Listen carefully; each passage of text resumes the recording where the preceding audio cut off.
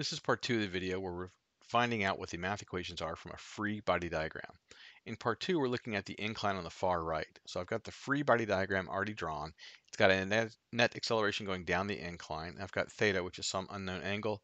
I have F10 going down and F8 going perpendicular to the incline. And what I want to do is turn this into two x and y equations. But before I do that, I need you to solve a puzzle. Here's the puzzle. I have a blue triangle. It's got 30 degrees in the bottom corner, 90 degrees at the bottom, and then going up, and I've got another triangle attached to it.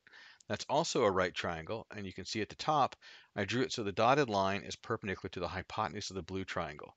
So now the question is, what is this angle's measure? Stop the video and really try to figure it out. It'll stick with you longer if you actually work for it a little bit.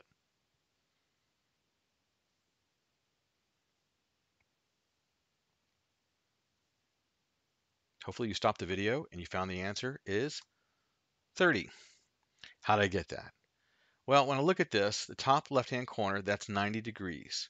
And if I look at the blue triangle, I can see that I have 90 degrees, 30 degrees, and that unknown angle in the top left.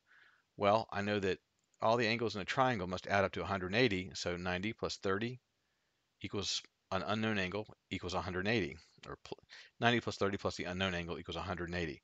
So the unknown angle is 60. It's a 30, 60, 90 triangle. Well, if that's true, and the dotted line is 90 degrees to the same hypotenuse as the 60 degrees, then that smaller angle just must be 30. 30 plus 60 equals 90. So that angle is 30, and it's no coincidence that's the same angle that's in the bottom right-hand corner of the blue triangle. We're going to use this to our advantage. Back to our problem. Here's our incline. I've got the net force. One of the first things I need to do is establish a coordinate system. What is the x direction and the y direction? For the previous free body diagrams, that didn't matter. They were just horizontal and vertical, very straightforward. But for this one along the incline, kind of think about it a little bit more. So I'm going to make x and y parallel to the net acceleration. If there was no net acceleration, I would make it parallel to the incline itself. By doing this, it's going to make the problems easier with less trig to deal with most of the time. Sometimes it's rare, but most of the time it'll be easier. All right, now what I need to do is I need to take my vectors and make sure they're all parallel to in the x direction and parallel to the y direction, so parallel and perpendicular to the incline. F8, it meets that criteria. It's perpendicular to the incline. It's parallel to y. Perfect. F10, no. Not parallel or perpendicular to either one of these. So what I got to do is make F10 into a triangle where F10 is the hypotenuse of that triangle. So one leg of the triangle has to be perpendicular to the incline. The other leg of the triangle has to be parallel to the incline. Great. Now I got to figure out what the angles and the magnitudes are. So from what we just did with the puzzle, I know the angle in that pink triangle in the top corner is going to be theta. So that angle is theta. Now the side adjacent to the angle is going to be the cosine function. That's going to be f10 cosine and the side opposite theta, that's a sine function, and in this case it's going to be f10 sine theta.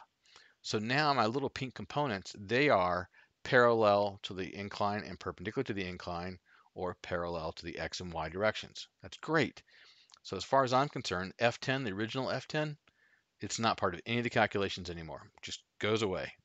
All I have is F8 and these two components of F10 now.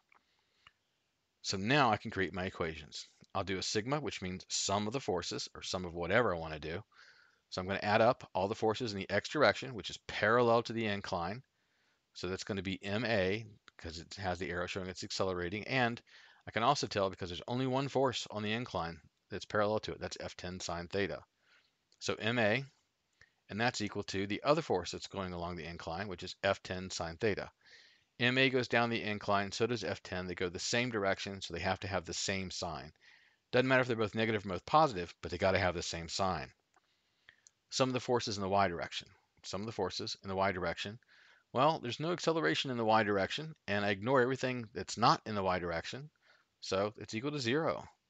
And that's equal to all the forces up minus all the forces down, or maybe you can reverse them if you want to. Uh, it doesn't matter because they're both equal to zero. So as long as they're both equal to zero, you can switch the signs evenly.